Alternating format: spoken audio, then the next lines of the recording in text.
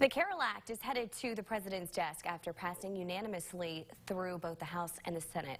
The bill was named in honor of Kentucky Congressman Andy Barr's late wife after she suddenly passed away from an underlying heart condition. The bill invests money into research for heart diseases. In a statement, Barr says thousands of Americans, predominantly young women, lose their lives to mitral valve prolapse and other valvular heart diseases each year. He added, I can't think of a better way to honor Carol Barr, whose selflessness and service to her community and country will be furthered through the law that will bear her name.